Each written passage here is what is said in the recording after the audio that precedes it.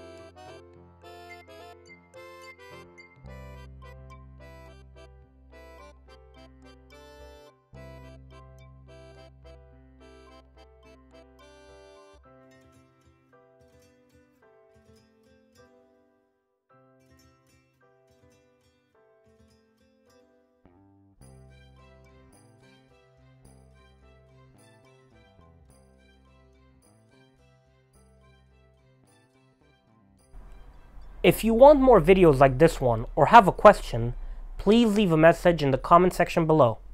Don't forget to subscribe!